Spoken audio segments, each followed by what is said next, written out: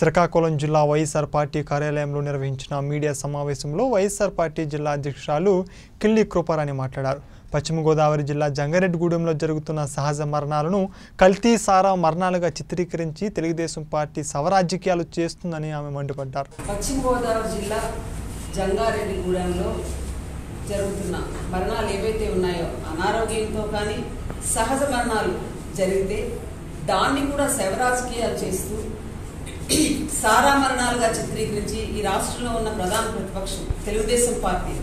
సహజ మరణాలను అనారోగ్యంతో చనిపోయే వారిని సారా మరణాలుగా చిత్రీకరించి అసలు సభని ఆపేయటం సభని అడ్డుకోవటం ఎంతవరకు సమంజసం?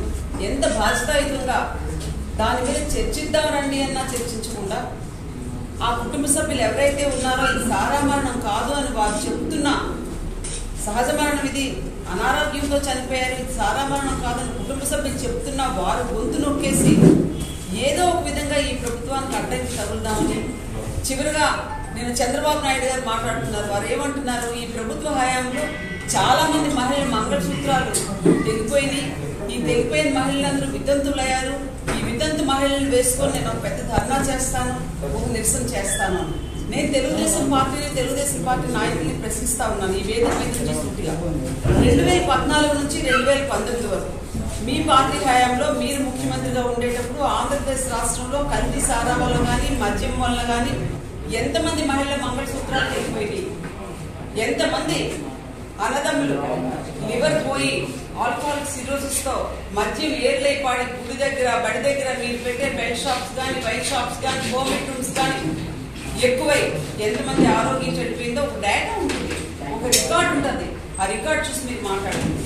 ఈ ప్రభుత్వం అధికారంలోకి వచ్చిన తర్వాత ఈ రెండున్నరేళ్ళ కాలంలో మద్యం పాలసీకి సంబంధించి ఎటువంటి విధాన నిర్ణయాలు తీసుకున్నారో ఈ రాష్ట్ర వ్యాప్తంగా ఉన్న మహిళా సోదరిమణులకు తెలుసు. ఎందుచేతనంటే వారు దాన్ని అనుభవిస్తూ ఉన్నారు. ముఖ్యమంత్రిగా పదవి బాధ్యతలు చేపట్టిన వెంటనే నేను ముఖ్యమంత్రి జగన్మోహన్ రెడ్డి గారు నలభై నాలుగు వేల బెల్ట్ షాప్స్ రద్దు చేయడం వాస్తవం కాదా? అది మీకు తెలియదా? ఇదేమి మేము ఫ్యాబ్రికేట్ చేసి వైసీపీ కార్యకర్తలుగా చెప్పే మాటలు కాదు.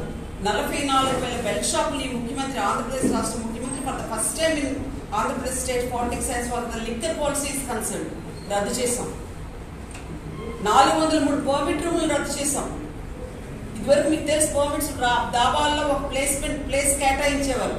పురుషులు కూర్చుని ఇష్టానుసారం అప్పుడు తాగుతూ ఉంటే మహిళ ఆ పక్క నుంచి నడిచి వెళ్ళలేని పరిస్థితి. పర్మిట్ రూములు రద్దు చేశారు. మద్యం షాపులు అమ్మే పని నియంత్రించారు. మద్యం బాటిల్ ముట్టుకుంటే షాప్ కొట్టే విధంగా చేయటం వల్ల ఈరోజు మద్యం వాడకం చాలా తగ్గిపోయింది. గడిచిన కాలంలో బార్ కేసులు అంటారు పాతి లక్షల కేసులు